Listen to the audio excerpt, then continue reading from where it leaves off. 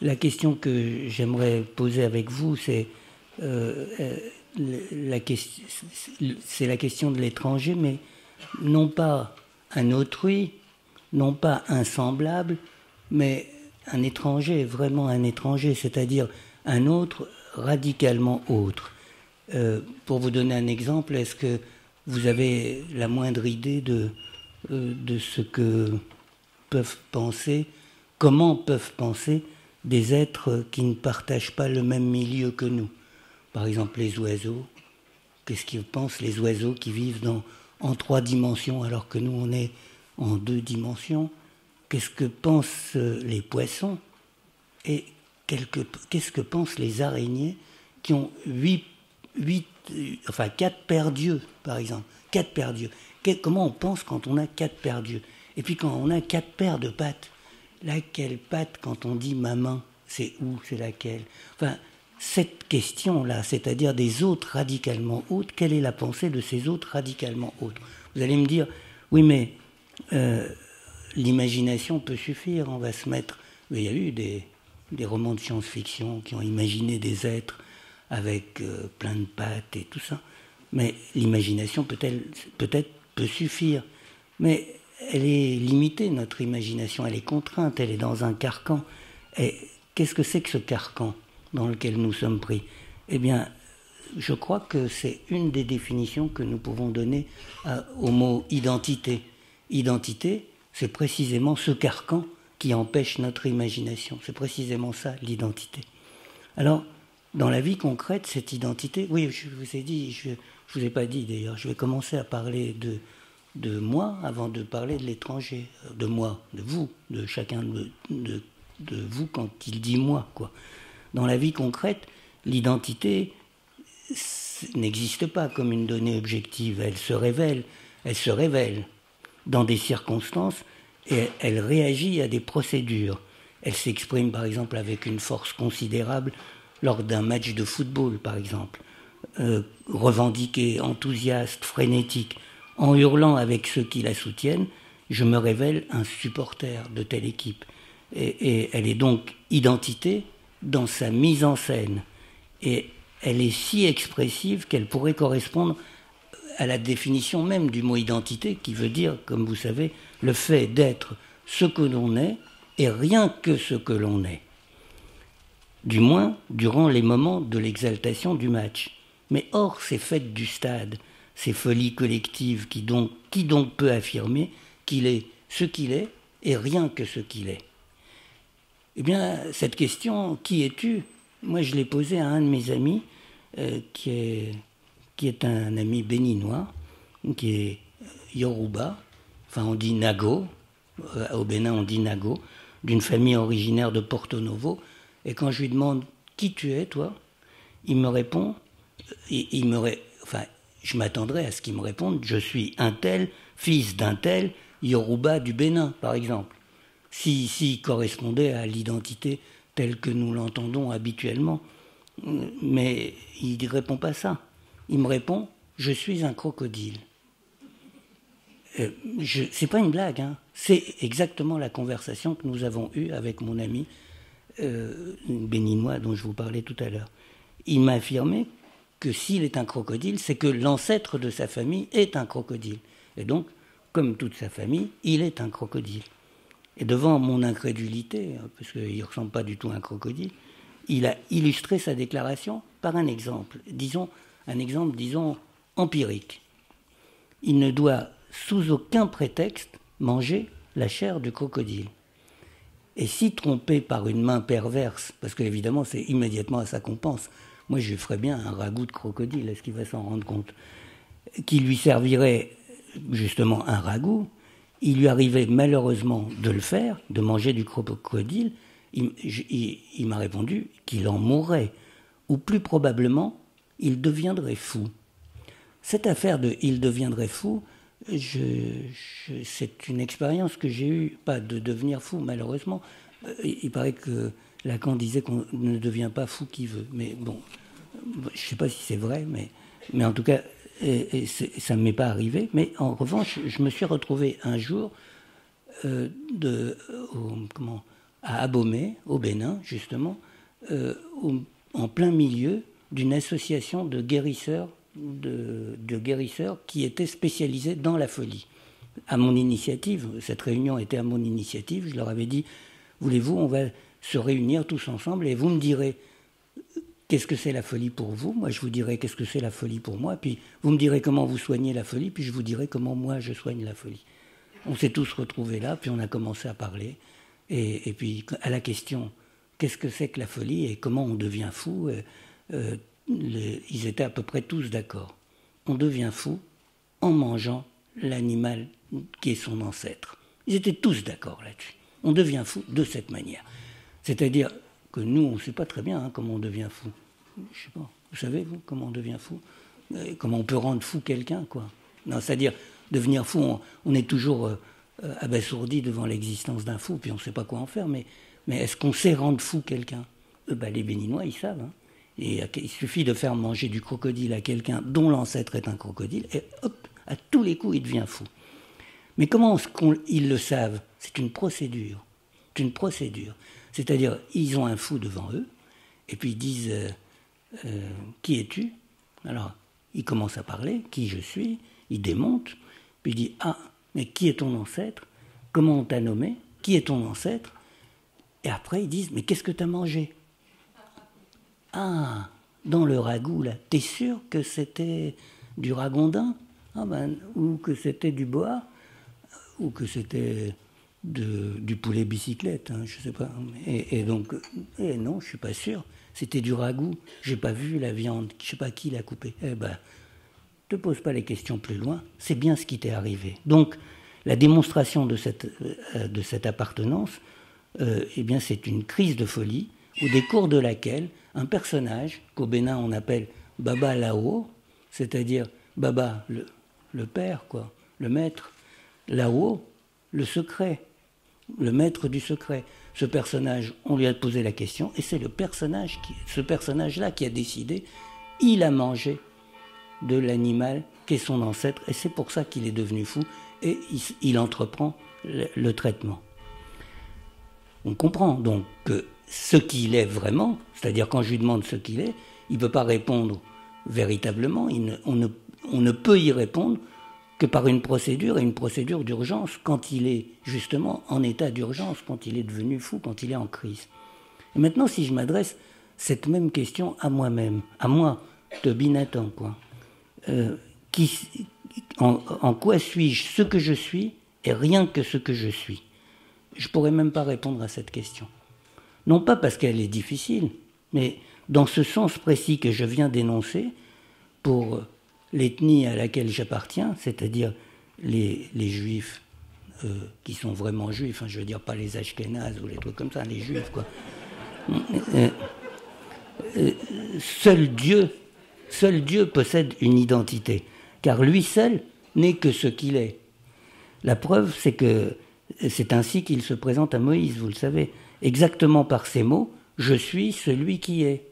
Vous vous souvenez? C'est comme ça qu'il se présente qui, que peut bien signifier cette phrase, sinon que tous les autres êtres qu'il peut m'arriver de rencontrer, les humains, les animaux, les autres dieux aussi peut-être, sont des manières d'hybrides, qui, comme vous, comme moi, quoi, d'éléments multiples, des agglomérats, autrement dit. Et pour insister encore sur sa spécificité irréductible, Dieu révélera son nom à Moïse. Et je parle de celui que l'on a conservé jusqu'à aujourd'hui, c'est-à-dire le tétragramme euh, Yud He Vav He, dont la signification en hébreu est une déclinaison du verbe être. C'est-à-dire encore plus étrange, le, syntagme celui qui est est à la fois son nom et son principal attribut. Alors si Dieu est le seul à n'être que ce qu'il est, comment est-ce que moi je pourrais même essayer de répondre à la question qu'est-ce que tu es et rien que ça que tu es quoi? Comment pourrais-je même essayer de répondre à cette question? L'autodéfinition de Dieu, du Dieu de mes, de mes ancêtres, je veux dire, implique que, en tant que juif, je ne pourrais définir mon identité que de manière négative, et je la formulerai ainsi je fais partie de ceux qui ne sauraient discuter de leur propre identité, cette question étant frappée d'interdit, puisque c'est la seule question à laquelle seulement Dieu a une réponse. Ça va? Donc, euh, on sait qui je suis, c'est celui qui ne peut pas.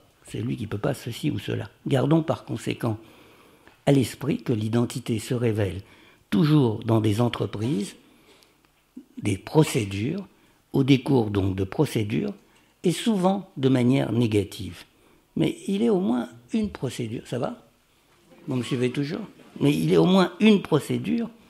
Oui, parce que les juifs, c'est un peu spécial, mais c'est pas très spécial. Vous allez voir que ça ressemble à plein d'autres ethnies euh, normales, je veux dire. C'est-à-dire. Euh, c'est par exemple le mot vivant, quoi. Les êtres humains, les juifs savent très bien que les êtres humains ne sont pas vivants. Le mot hay, vivant, ne va jamais avec être humain. Être humain, c'est pas vivant. Euh, Dieu est vivant, bien sûr. C'est le seul, d'ailleurs, dont on dit toujours le Dieu vivant. Donc, ceux qui pratiquent les psaumes, j'espère qu'il y en a parmi vous qui vont à côté pour faire des psaumes, tout ça, non? Euh, chez, les voisins, non, ah, non. Et euh, ben, savent que on dit, souvent le Dieu vivant, le Dieu vivant. Dieu est vivant. Le peuple juif est vivant. Israël Hay. Le peuple d'Israël est vivant. Mais je pourrais jamais dire que moi je suis Hay, je ne suis pas vivant. C'est pas possible. Parce que vivant, pour les juifs, signifie ayant une pensée autonome. Vous avez une pensée autonome, vous? Bah, Vous rigolez ou quoi? Déjà, rien que la langue, elle est complètement truffée de pensées des autres. Et vous êtes déjà complètement formaté, vous n'avez pas de pensée autonome. Donc on ne peut pas dire, bah, bien sûr, moi non plus, hein, je veux dire. Mais donc, c'est pas un être humain qui peut avoir une pensée autonome. Dieu peut avoir une pensée autonome. Le peuple tout entier pense. Les peuples pensent. Enfin, moi, je fais partie de ces groupes dont il y a quelques survivants dans la salle, d'ailleurs, de ce groupe qui pensait que les peuples pensent, quoi. Bon, euh, enfin, on parle plus de tout ça aujourd'hui. Hein. Et, bon, enfin, si vous voulez, je vous en parlerai tout à l'heure, mais c'est pas ça la question. Et, donc, euh, euh, chez les Juifs, par exemple, donc le, Dieu pense, Dieu est vivant, puisqu'il pense, il a des pensées originales. Le peuple est vivant, et les morts sont vivants. Ben oui, parce que les morts produisent des pensées originales. C'est pour ça que le cimetière, eh ben, un des noms des cimetières, du cimetière en hébreu, c'est Bethel Haïm, c'est-à-dire la maison des vivants. Qu'est-ce qu'on appelle un cimetière? La maison des vivants. Parce que les morts sont vivants. Pourquoi? Parce qu'ils produisent de la pensée autonome, ce que les êtres humains ne savent pas faire, et donc les êtres humains ne peuvent pas être qualifiés de vivants. Ça va, vous m'avez suivi? Tout va bien. Alors, mais il est au moins une procédure, très généralement répandue dans les sociétés humaines, qui possède pour principale fonction de définir l'identité d'une personne, et je pense que c'est quelque chose de très important, même si on n'y accorde pas l'importance qu'il faut aujourd'hui, c'est la nomination. Alors, une vulgate psychanalytique un peu, euh, euh, comment, un peu naïve, on va dire, une psychologie pour, magazine féminin qu'il a ensuite relayé, euh, nous, nous ont laissé penser qu'il est naturel de nommer un enfant selon la fantaisie de ses parents. Alors par exemple, Freud a appelé euh, son, premier enfant Jean euh, Martin parce que Charcot, son maître, s'appelait Jean Martin, un autre Ernst parce qu'un autre de ses maîtres s'appelait Ernst Bruck, un, autre, une autre Mathilde parce que l'épouse d'encore un autre de ses maîtres, il avait beaucoup de maîtres apparemment, mais un mec qui parle tout le temps de ses maîtres comme ça, moi je n'y ferais pas confiance. Hein. et donc c'était, euh, c'était donc Bruyère et, la femme de Bruyère s'appelait Mathilde, donc il a appelé sa première fille Mathilde, etc. Et donc cette idée comme ça que les fantasmes des parents produisent les noms des enfants. Il existe des, mondes civilisés, ça c'est, la sauvagerie totale, hein. c'est la sauvagerie. il existe des mondes civilisés, il existait autrefois ici aussi en, France, hein, mais partout, hein, il existait des mondes civilisés où on ne nommait pas un enfant, on découvrait son nom. Ça signifie que l'enfant a déjà un nom. Le nommer, c'est trouver le nom qu'il a. Ça va? Vous me suivez? Alors, les traditions africaines procèdent selon ce principe général, même si son application est différente selon les lieux et les temps. Là, on ne nomme pas un enfant, donc je vous disais, on découvre son nom, c'est-à-dire que les personnes chargées de faire sortir le nom de l'enfant, c'est comme ça qu'on dit faire sortir le nom de l'enfant, qui sont en général des anciens, des grands-parents, des responsables religieux, considèrent donc qu'il a déjà un nom et comment, comment est-ce qu'on peut le trouver, ce nom? Eh bien, on peut le trouver en posant la question. Alors, à un enfant, on pose les trois questions qu'on pose à un étranger. Qui es-tu? D'où viens-tu? Pourquoi viens-tu? Un enfant, c'est un étranger. Donc, évidemment, on ne va pas lui attribuer un nom, on va lui demander Qui es-tu? Alors, on pose la question à l'enfant. Évidemment, il répond, l'enfant. Il répond, mais il ne parle pas la même langue que les adultes qui posent la question. S'il a huit jours, il a huit jours, c'est quand il a huit jours. Sept jours, ça dépend des, lieux, c'est sept jours, huit jours. C'est une semaine à peu près. C'est après le premier bain, en fait. Hein. Et, quand on le met sur le sol, quoi. Et alors on dit Qui es-tu? Et alors, comment est-ce qu'on obtient la réponse? On obtient la réponse parce que, en fait, la qualité de l'enfant, l'identité de l'enfant, en quelque sorte, s'est manifestée au travers d'événements, en fait. C'est-à-dire que sa qualité, son être même, s'est révélé aux modifications qu'il a produites dans l'environnement où il est apparu. Donc qu'est-ce qui s'est produit? Alors d'abord sur la mer, qu'est-ce qui s'est produit dans la famille, qu'est-ce qui s'est produit dans le village, qu'est-ce qui s'est produit dans la lignée, pendant que cet enfant était en train d'arriver, dès les premiers instants où il a montré son nez, quoi. Ça ne veut pas dire forcément que sa mère, les moments où sa mère a été enceinte, hein. ça peut être un peu avant. Il commençait à montrer son nez déjà, hein, un peu avant. Ça peut être un peu après aussi. Mais en tout cas, on interroge les événements. Et alors, c'est comme ça que, par exemple, au Congo, je vais vous donner quelques exemples congolais, je vais m'arrêter un tout petit peu sur des exemples de nominations congolaises, vous allez comprendre. Par exemple, au Congo, on peut s'appeler La souffrance était amère. La souffrance était amère. C'est-à-dire, pendant que tu étais en train d'arriver, on a eu beaucoup de malheurs et la souffrance était amère. Ou bien, le croque-mort n'a pas chômé. C'est des noms, hein le, croque-mort n'a pas chômé. Ou bien encore, euh, ben, comment, euh, je vais revenir sur un nom précis tout à l'heure. Euh, c'est que, au fond, on pourrait penser que c'est pas très sympa d'appeler quelqu'un comme ça. Mais détrompez-vous. Un nom, parce que vous pensez que, je sais pas, je sais pas ce que vous pensez, hein, mais j'imagine que, par exemple, vous pourriez penser que quand on dit euh, Jules, on croit qu'on s'adresse à Jules. Mais quand on dit Jules, mouche ton nez, par exemple, Jules, mouche ton nez. Quand on dit Jules, il y a des gens qui écoutent. Il y a des gens qui écoutent, qu'on ne voit pas. Et lorsqu'on dit le nom de l'enfant, on parle à l'enfant et on parle aussi aux gens qui écoutent, en fait. Aux gens qui sont là et qu'on ne voit pas et qui écoutent. Et c'est pour ça qu'à ce moment-là, c'est comme si on disait on a bien vu que le destin de cet enfant était marqué par le malheur depuis sa conception. Ce malheur s'applique à cette famille par l'intermédiaire d'êtres qui sont venus la persécuter. Chaque fois que je prononce son nom, je dis à ces êtres, faites attention, je vous ai repéré. Et en fait, vous croyez que c'est un nom de dérision, mais c'est en fait un nom de protection, en fait. C'est une sorte d'amulette qui enveloppe l'enfant et qui lui dit il ne t'arrivera rien parce qu'on a reconnu ces forces terribles qui sont là et qui vont assaillir et toi et la famille. Alors, je vais prendre un exemple concret. Par exemple, c'est un, garçon dont j'ai eu à m'occuper. Il s'appelait Mampasi. Mampasi, ça signifie en Kikongo, c'est un, un, jeune garçon qui est né au Congo-Brazzaville. Et en Kikongo, qui est une des langues véhiculaires du Congo-Brazzaville, euh, euh, le mot signifie difficulté, peine. Mampasi est bien le nom par lequel on appelle l'enfant. Mais il faut bien faire attention, il n'est que le résumé du nom. En fait, derrière ce nom se cache une phrase entière. Comme souvent, hein, les noms, c'est souvent une phrase qu'il y a derrière. Et c'est une phrase qui est condensée dans un mot qui reprend, enfin qui sous-entend la connaissance de la phrase entière.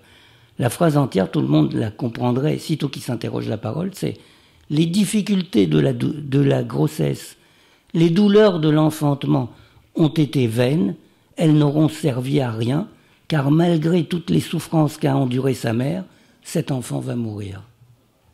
C'est ça que ça veut dire, mampasi.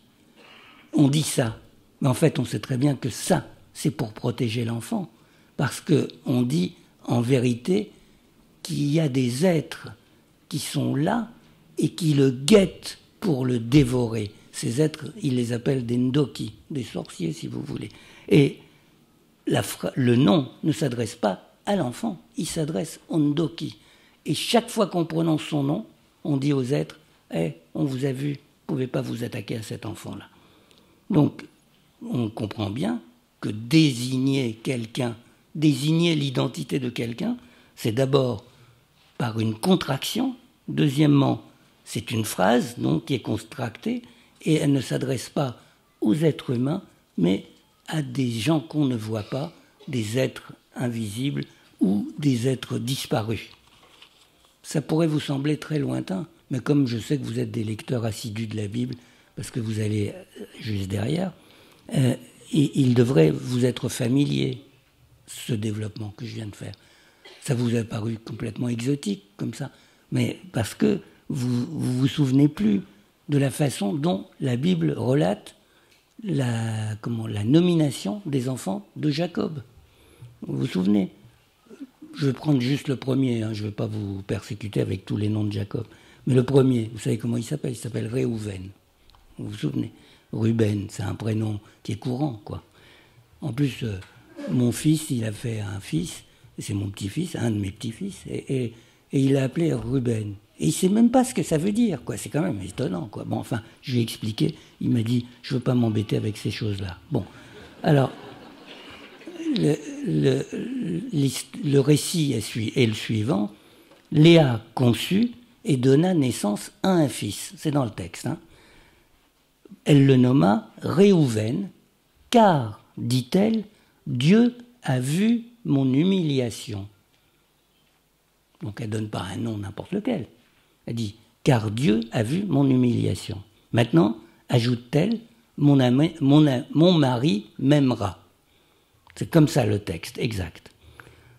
Le contexte auquel il se réfère maintenant, vous le connaissez évidemment, Jacob avait épousé deux sœurs, Pareil, c'est complètement interdit, mais enfin, il l'avait fait. Mais enfin, c'est les, patriarches, ils font tout ce qui nous est interdit. Hein. Donc, si vous voulez devenir patriarche, vous savez ce qu'il faut faire. Alors, eh, il avait épousé deux sœurs. Léa était la première épouse, mal aimée de Jacob, qui lui préférait sa sœur Rachel. Vous vous souvenez, il était amoureux de Rachel. On se souvient qu'il dut épouser l'aînée, travailler encore sept ans pour son oncle Lavan, le père des deux jeunes filles, avant d'obtenir la cadette comme seconde épouse. La Bible nous apprend que Jacob aimait Rachel d'amour et respectait Léa. Mais Léa, euh, elle n'aimait pas du tout ça. Elle se sentait humiliée par le fait que son mari la respectait seulement alors qu'il aimait sa petite sœur. Lorsqu'on lit le texte, on constate que le nom de l'enfant Réhouven, comme les noms congolais que nous discutions plus haut, a été choisi en référence aux émotions de sa mère. Alors, puisque c'est comme ça qu'on fait, on va ouvrir ce nom, on va essayer de comprendre.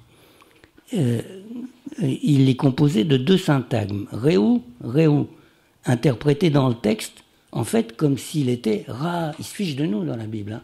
parce qu'il dit Il a vu mon humiliation. Mais il a vu, ça se dit pas Réou. Ça se dit Ra. Alors, fiche de nous, quoi. Il a vu. C'est pas il a vu. C'est, pas il a vu, c'est Réou. Réou, ça veut dire regarder. Ça veut pas dire il a vu il a vu, et Ven, Ven, Ben, quoi, c'est le fils. Alors, le texte propose l'interprétation suivante. Le texte biblique dont on dispose propose l'interprétation suivante. En fait, c'est une phrase, une phrase entière. Et cette phrase serait la contraction, serait, la suivante. Dieu a vu, donc ça devrait être Ra, mais c'est Réou dans le texte, mon humiliation. Il m'a donné un fils, Ben, Maintenant, mon mari m'aimera, et là aussi, il manque une autre partie, parce que ce qui est sous-entendu, plus qu'il n'aime ma sœur. Parce que c'est ça le problème, évidemment. Puisqu'il aime la sœur, et c'est elle qui donne le fils, donc maintenant qu'elle a le fils, il va peut-être l'aimer plus qu'il n'aime la sœur. Bon. c'est un peu naïf comme réflexion, mais enfin, c'est quand même, c'est humain, quoi. C'est donc l'interprétation que propose le texte. Ici, le nom est une phrase qu'il faut reconstituer, construit comme une amulette aussi. On voit bien à quoi sert ce nom, hein. Parce qu'un un, gamin qui naît dans de telles conditions, la, maman, Léa, est sûre que Rachel va lui jeter un sort, quoi. Bah, c'est sûr. Bah, vous, êtes d'accord Bon. Donc, qu'est-ce qu'elle fait? Elle le protège. Elle le protège de quoi? De la jalousie de sa sœur. Et donc, elle met dans le nom la protection contre la jalousie de la sœur. Vous êtes d'accord? Hein? Donc, c'est bien comme ça qu'est construit. Ça va? On est d'accord. Mais l'interprétation n'est tout de même pas satisfaisante, car elle, nous contraint à une approximation, à prendre Ra, il a vu, pour Réou, voyez, regardez, euh, ce qui n'a évidemment pas échappé aux commentateurs. Alors Rachi dont on vous a parlé hier, euh, qui est le célèbre exégète de Troyes, on propose une lecture très différente et, il lui propose de rapporter le prénom Réhouven à la phrase suivante. Il faut beaucoup d'imagination hein, pour, euh, pour commenter la Bible. Alors, il propose de rapporter le prénom Réhouven à la phrase suivante. Voyez, Réhou, et là c'est correct, voyez, la différence entre mon fils et le fils Léven et c'est à ce moment-là qu'on voit veine. Donc il y a Réou, voyez, tout le développement que je viens de vous dire. Et puis les veines, et là vous avez veine. Et le fils, les veines de mon oncle, vous n'avez jamais vu l'oncle, hein, c'est lui qui a rajouté l'oncle. Il faut entendre le fils de mon oncle comme son mari. C'est son cousin. Voyez bah, c'est comme ça qu'est construit le. c'est le commentaire de Rachi, hein, j'invente rien du tout. Hein. c'est le commentaire de Rachi. Puisque Léa et Jacob donc étaient cousins germains. Elle renvoie au fait que Jacob s'est indûment approprié le droit d'aînesse normalement dévolu à son frère Ésaü, et, que lors du fameux épisode du plat de lentilles, que vous connaissez tous évidemment, la phrase prédit par conséquent que le fils qui vient de naître à Léa, Réhouven, sera reconnu comme aîné sans aucune contestation, pas comme son père. Donc c'est une petite pique contre le père quand même, en même temps. Et tout ça, c'est dans le prénom. Donc on comprend bien que quand elle dit Réhouven, mouche ton nez, elle, dit plein de trucs à son mari, à sa sœur, à tous les êtres qui l'entourent, vous comprenez? Donc le prénom a bien été choisi comme ce que j'étais en train de vous dire. C'est donc une ruse. C'est donc une ruse. Le prénom est une ruse j'ai un enfant et je l'appelle Réhouven parce que Dieu a vu mon humiliation. Ça fait vachement sérieux, mais en fait, c'est une ruse. Maintenant, il y a une autre interprétation encore qu'on trouve dans le Zohar, mais enfin, il y en a dix hein, des interprétations, je vais vous en faire que trois. Hein. Alors, elle commence ainsi Réhouben. Alors là, c'est parfait. Regardez un fils. Réhouben. Regardez un fils. Waouh Réhouben, un fils. L'explication vient ensuite, puisque la seconde partie de la phrase, constituons le nom, est cette fois, et il est parfaitement constitué. Regardez, Ben, un fils, et il est parfaitement constitué. Il, il ne présente aucune tare, c'est ça que ça veut dire. C'est bien la preuve qu'en couchant avec moi, mon mari n'a pensé à aucune autre femme. Parce que ça, c'est le midrash du Zohar. Là encore, une phrase entière. Alors là aussi, c'est une ruse plus euh, euh, une ruse au carré, si vous voulez. Bon, il nous faut retenir ici, je ne vais pas épiloguer sur cette affaire, il nous faut retenir ici que dans ces systèmes de nomination, qui sont des systèmes de culture normale, quoi, je veux dire, pas qu'ils pensent que c'est le fantasme des parents qui produit l'enfant, le nom de l'enfant, quoi. Et on présuppose une identité à l'enfant, et cette identité, on va la repérer dans les événements du monde. Alors, cette, euh, comment, ce rapport avec ces êtres, ces êtres euh, qui posent des problèmes à Mampassi, qui euh, mettent, le désordre dans l'univers, ce rapport, eh bien, il y a qui, sont les véritables étrangers, ces êtres qu'on ne connaît pas et qui ont, on va dire, et qui ont des dont, enfin, le seul intérêt de la vie, c'est de, de, connaître leur façon de penser, quoi, puisqu'ils nous concernent au plus proche.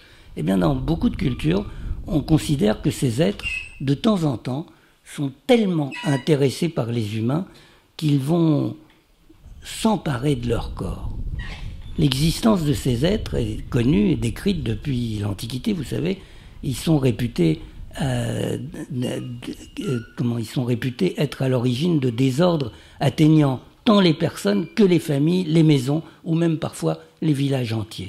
Leurs attributs sont lisibles dans les noms qui les désignent et je vais vous prendre l'exemple d'une seule, j'allais dire ère géographique, c'est pas une ère géographique, c'est une ère linguistique, on va dire. Euh, une, seule ère linguistique, et les langues sémitiques, cet être, cet invisible non humain dont je n'arrête pas de vous parler, eh bien, on l'appelle en amharique, qui est la langue euh, véhiculaire aujourd'hui en Éthiopie, l'amharique, qui est une langue sémitique, on l'appelle Zar. Mais Zar, Zar, moi je les connais les Zars, hein, ils y en avaient en Égypte, hein. je vous ai raconté un peu hier pour ceux qui sont venus à la lecture comment on les, on les rendait présents. Euh, on l'appelle Zar en Amérique, on l'appelle Jinn en arabe, et on l'appelle on l'appelle pas que Jinn en arabe, il y a plein d'autres mots. Jinn, vous connaissez le mot Jinn, c'est le, le de Victor Hugo, hein, c'est de là que ça vient. Et on l'appelle Shed en hébreu, qui sont les trois langues sémitiques vivantes aujourd'hui, quoi. Euh, enfin, il y a aussi l'araméen qui est vivant aujourd'hui, mais enfin, il est quand même quasi disparu, quoi. Les mots peuvent sembler très éloignés les uns des autres, mais c'est comme si leur sens dans une langue renvoyait aux mots de la langue voisine, de la langue cousine, je veux dire. Le même mot, zar, zar, donc zar, qui désigne l'esprit invisible chez les Éthiopiens, devient en hébreu, il existe en hébreu, zar, on vous en a parlé hier, hein. zar existe aussi en hébreu, zar, le mot zar. En hébreu, il veut dire l'étranger. Alors, en, en amérique, il veut dire l'esprit, le diable, le diable qui s'empare du corps des femmes, c'est Zar. En hébreu, il veut dire l'étranger, que l'on retrouve par exemple dans un mot qui est très très courant en, hébreu, c'est mamzer. Mamzer, mamzer, ça veut dire bâtard, quoi. Mais qu'est-ce que ça veut dire un bâtard? Ça veut dire un mec qui a fait rentrer l'étranger dans la maison, quoi. Mamzer. Un mamzer, mais c'est une insulte. T'es un bâtard. Comme on dit t'es un bâtard en français, on dit un mamzer en hébreu. Et pour, de quoi on l'accuse? D'avoir fait rentrer l'étranger dans la maison, de nous avoir mamzerisé, quoi. C'est-à-dire rendu euh, et étranger. comment euh, Qui nous a, euh, nous a imprégné, nous, a imprégné de cette substance d'étranger, en quelque sorte. Bâtard celui qui a été conçu avec un étranger. Et on reconnaît ce même mot en arabe comme déclinaison du verbe zir, zir en arabe, la ziara, la ziara. Euh, pour les, les, arabisants qui sont là, connaissent ziara. Ziara, ça veut dire la visite. Euh, euh, zar, bah, c'est le visiteur. Et c'est absolument pas cet être qui vient et qui s'empare de vous. C'est au contraire ce visiteur qu'on est tenu d'accueillir et à qui on doit l'hospitalité, on doit lui laver les pieds. Vous savez comment c'est la tradition chez les Arabes, chez les Bédouins du désert, par exemple. Hein. Donc on l'accueille, etc. On lui doit tout, on lui doit la nourriture, l'accueil, etc. En glissant d'une langue à une autre, l'esprit éthiopien, c'est un esprit en Éthiopie, est devenu l'étranger en hébreu et le visiteur en arabe. Ça va? Donc, il est donc un concept commun aux langues sémitiques qui désigne l'altérité et qui se, décline selon une ligne qui va de la possession, possession au sens où nous on dit être possédé par un esprit, de la possession par un zar, où l'hôte, celui qui accueille, est pris, capturé, possédé par l'étranger, jusqu'à son contraire qui met l'accent sur l'hospitalité que l'on doit aux visiteurs, comme dans la ziyar, à la visite, etc. Décidément, Maïmonide, pour une fois, avait raison qui prétendait que dans son guide des égarés, qu'on ne peut pas lire les textes anciens comme la Bible par exemple si on ne maîtrise pas aussi les deux autres langues sémitiques dominantes à son époque, c'est-à-dire l'araméen et l'arabe. D'ailleurs, le guide des, égarés, l'a écrit en arabe. Le mot gène en arabe, qui désigne ce même type d'invisible non humain susceptible de prendre possession d'une personne, est tributaire d'une constellation de significations autour de la notion de cachet. Gêne est ce qui ne peut pas se voir. L'utérus, par exemple, de la femme, qui se dit avec un mot de la même racine, Jana. Jana, c'est l'utérus. Ou son locataire. le fœtus, qui se dit janine, c'est la même racine que jin, qui périrait de son dévoilement. Dissimulation fondamentale, principe d'existence de cet être que l'on assimile ici à la fertilité, le jin est associé à la force invisible qui fait pousser les plantes dans un jardin. Jardin que l'on dit comment? Généna.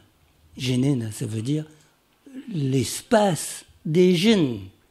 Qu'est-ce que c'est qu'un jardin? C'est l'espace des jeunes. Jinn serait l'équivalent arabe, au fond, de la fousis grecque, qui, qui ne saurait mieux se traduire que par purgescence euh, des plantes et des sexes. Rien d'étonnant à ce que les Grecs, comme les Romains, aient parsemé leur jardin de priapes ou de satyres ityphaliques, ou encore tout simplement de phallus de pierre, pour honorer non pas la fertilité, comme on l'affirme souvent, mais bien l'excitation débridée du vivant. Et cette excitation débridée, elle n'est pas chez l'être humain, elle est chez le gène. Et si vous voulez avoir cette excitation débridée, vous ne pouvez l'avoir que par une association avec le gène. Et l'on retrouve cette même racine gène dans le plus, le plus puissant des jardins, le paradis, qui se dit Genet en arabe, Gennet en amarique et Gan Eden en hébreu, qui veut dire, comme vous le savez bien sûr, le jardin d'Éden. C'est ça le paradis. Mais c'est quoi? C'est un jardin, c'est-à-dire le monde des djinns. Ça va? Vous m'avez suivi? Donc c'est là on est resté uniquement à, la signification des mots. Alors je ne vais pas épiloguer sur cette affaire. Un étranger, oui, mais pas dans le sens que nous donnons le mot, que nous donnons à ce mot dans nos démocraties, lequel ici désigne un semblable qui possède une autre nationalité, c'est ça un étranger, donc ça n'existe pas en fait. Euh, dans, nos, dans nos démocraties, nous n'avons jamais rencontré d'étrangers. Nous ne savons rencontrer que des semblables qui n'ont pas la même langue, qui n'ont pas la même, euh, la même nationalité, mais tout ça, ça peut changer. Et, donc, euh, c'est des semblables, c'est des mêmes, c'est pas des autres.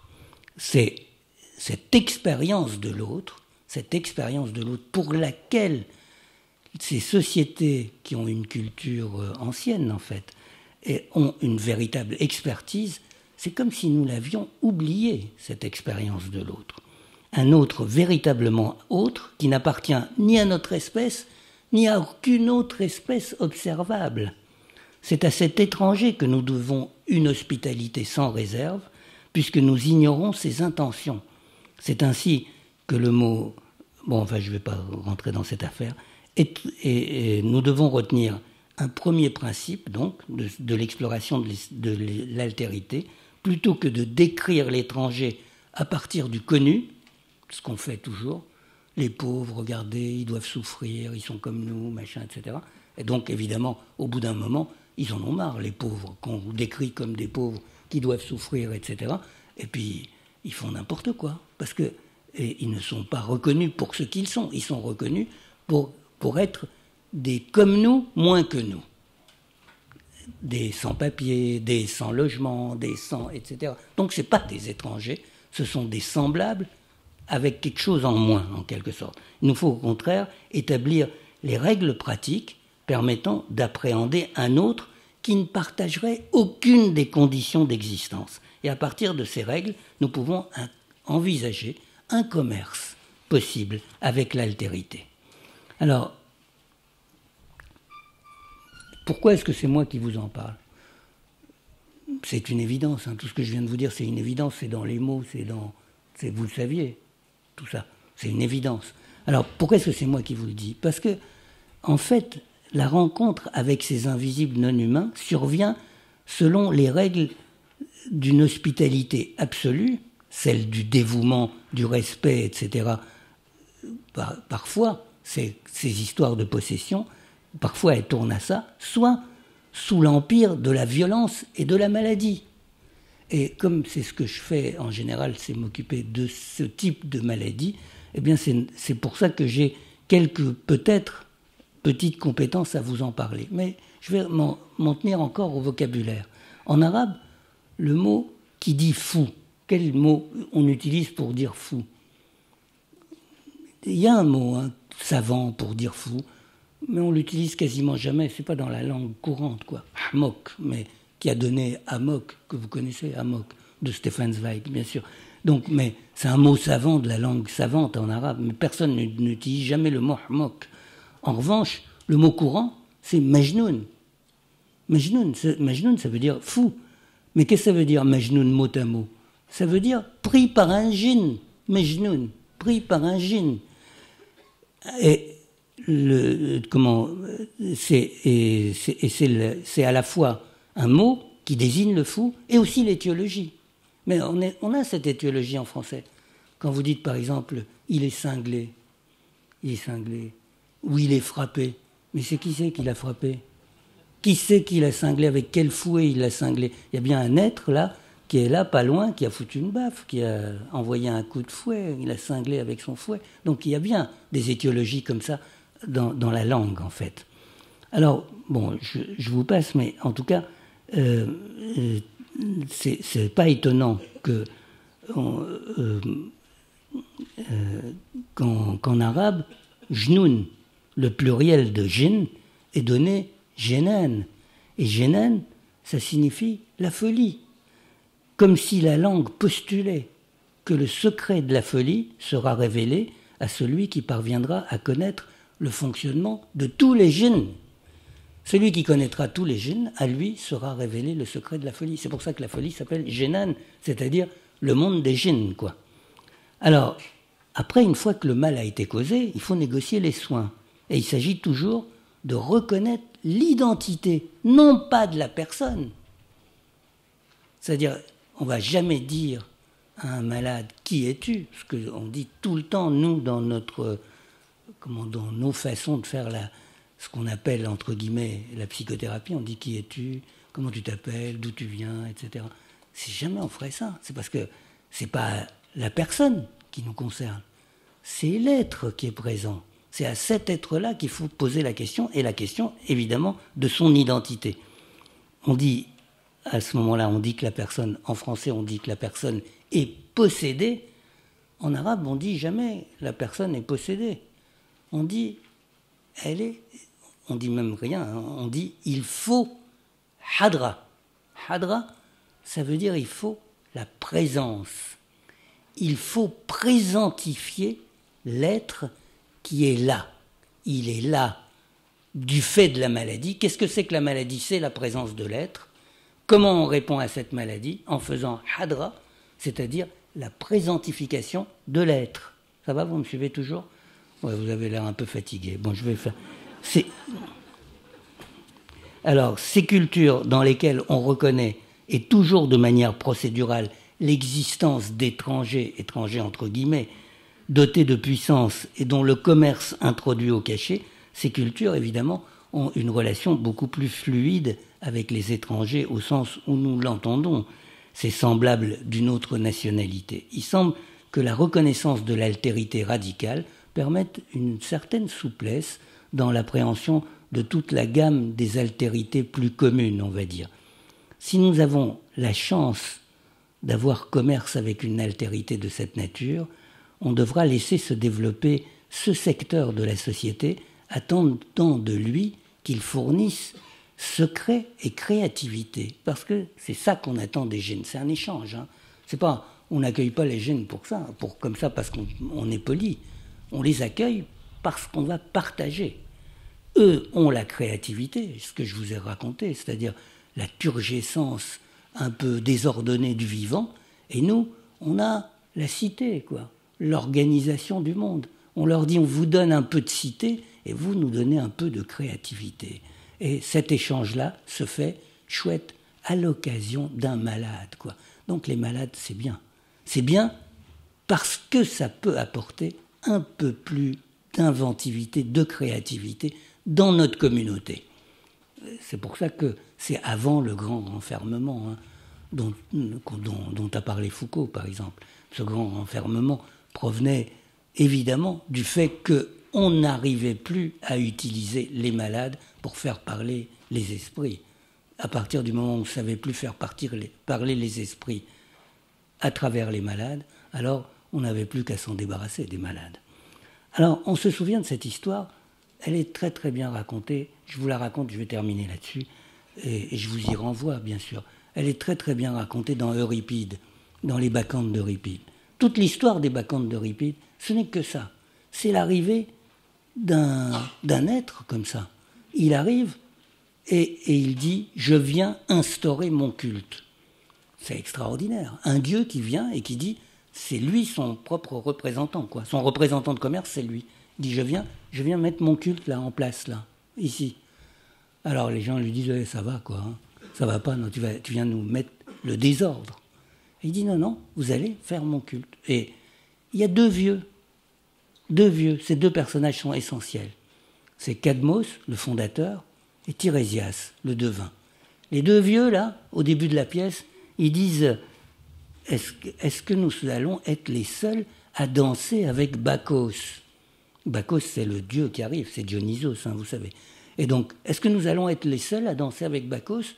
Et, à ce moment-là, euh, Tirésias répond Oui, car nous sommes les seuls à être gens sensés. Tous les autres sont fous. Tous les autres sont fous, c'est quasiment une prédiction. C'est le début de la pièce. Hein. C'est quasiment une prédiction. Pourquoi? Parce que comme les êtres humains ne veulent pas se soumettre à, à la mise en place du culte de Dionysos, qu'est-ce qui se passe? Eh bien, Dionysos, il rend les femmes folles. Et les femmes se mettent à courir sur la montagne, là elles, courent sur la montagne et elles font ce qu'on appelait en grec une orgie. Une orgie, ça ne veut pas dire forcément qu'une orgie sexuelle. En fait, c'était un, un, peu sexuel quand même. Hein. Mais c'était aussi beaucoup d'autres choses, des danses et surtout des sacrifices d'animaux.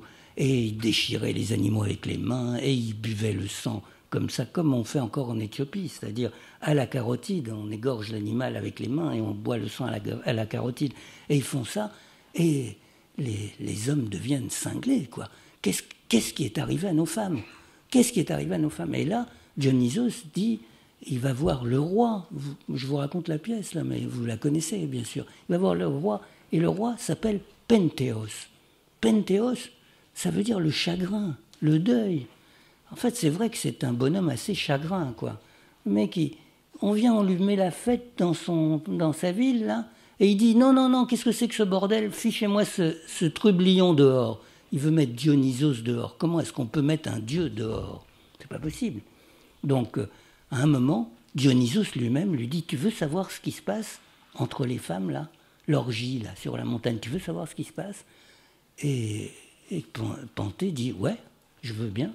Il dit, bah, tu vas monter sur, sur l'arbre, là, tout là-haut, et là, tu seras planqué, tu pourras regarder. Et qu'est-ce qu'il voit? Il voit sa mère et sa tante, Agavé et Ino, c'est sa mère et sa tante, en train de cavaler quasiment à poil, de choper des panthères, des petites panthères. Il est, il est quoi. Il regarde ça.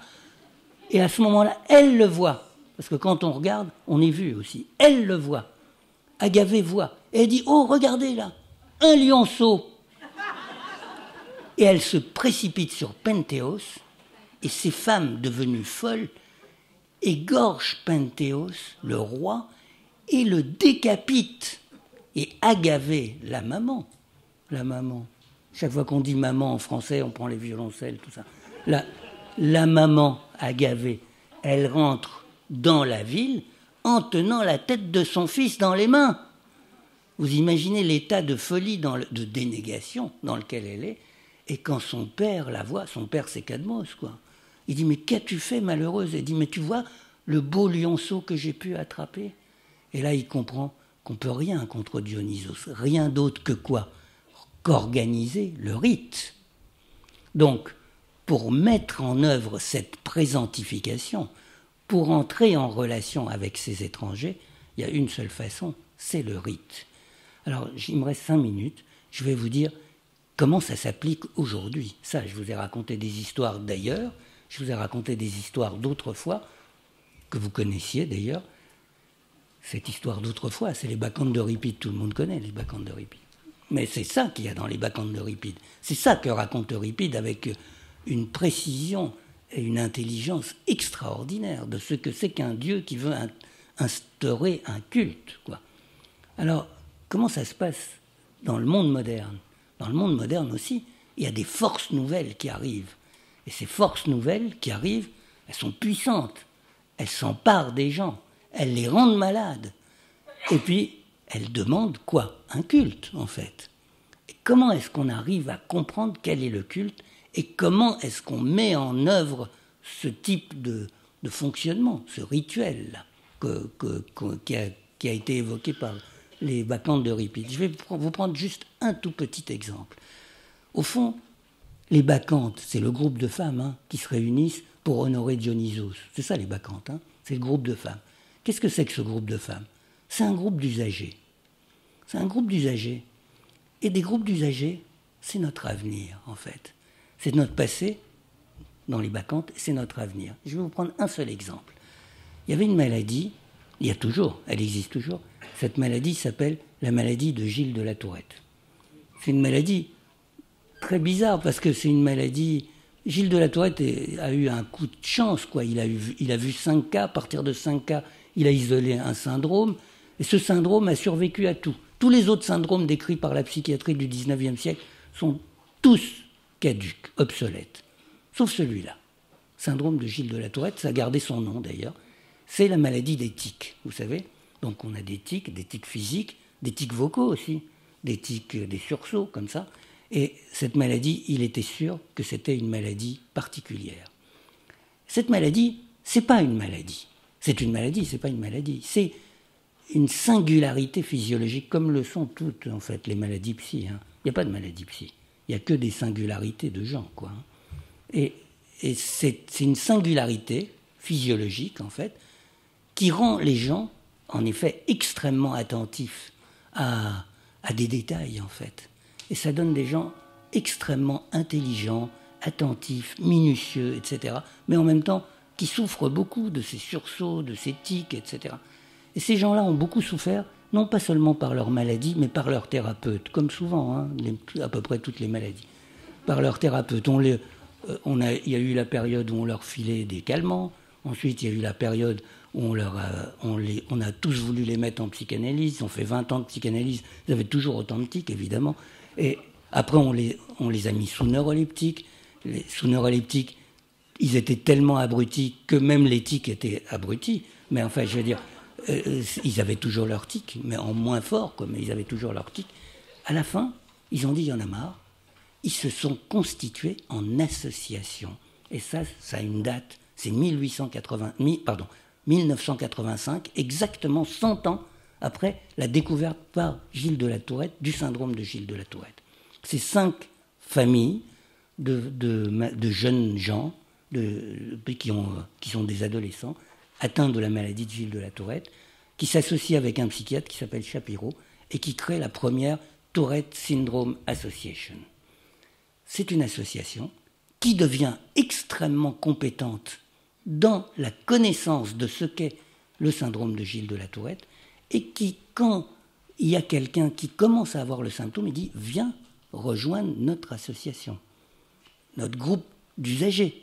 C'est groupe d'usagers de quoi? De la psychiatrie ou de la maladie, si vous voulez. Et ce groupe d'usagers, il vient et il interroge les psychiatres, les gens qui les soignent, que ce soit les psychiatres, les infirmiers, etc. Il leur dit Pourquoi vous me faites ça? C'est pas, c'est pas ça. La recherche dit pas ça. Non, on refuse. On refuse de prendre les médicaments. On refuse de prendre ceci. Et c'est le groupe d'usagers qui s'est constitué grâce à la force. Cette force, c'est le syndrome de Gilles de la Tourette. Donc vous avez en effet l'apparition d'une force. Cette force, eh bien, elle, elle, comment elle, elle se manifeste sur des personnes en les rendant malheureuses. La réponse à ça, c'est la constitution d'un groupe d'usagers, et le groupe d'usagers répond par des rites à cette force. Et c'est exactement ce qui est en train de se dérouler autour de cette histoire des associations d'usagers, autour des, syndromes de la psychiatrie. Je vous donne un autre exemple, mais je ne vais pas vous le développer. Par exemple, il y a une association qui est en train de se développer à toute vitesse aujourd'hui, qui s'appelle, vous allez très bien comprendre ce que c'est que cette association, elle s'appelle l'Association des entendeurs de voix. Vous devinez ce que c'est. C'est-à-dire, bah, parce que essayer de voir, d'aller voir un psychiatre et de lui dire hier j'ai entendu des voix, ça m'étonnerait que vous réchappiez à, la, comment, la prescription de neuroleptiques. Hein. Ça m'étonnerait. C'est à peu près infaillible hein, pour avoir des neuroleptiques.